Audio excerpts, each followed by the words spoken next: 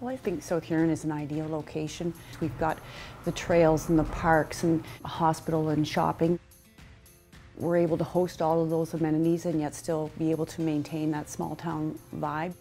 It really boils down to the ongoing relationships that we try to build with people.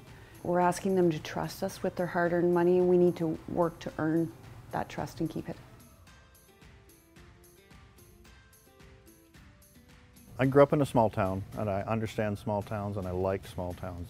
I like that my customers know that the industries and the retail stores and the restaurants in town support and, and employ their neighbors and they get it and they appreciate it. We bought the store in November 2016. We're up over 35% in business just from having the right stock and having the right level of training with our staff. We really want to be your pet expert. We want to be able to assist you with behavioral issues, health issues. We're much more than just a retail store.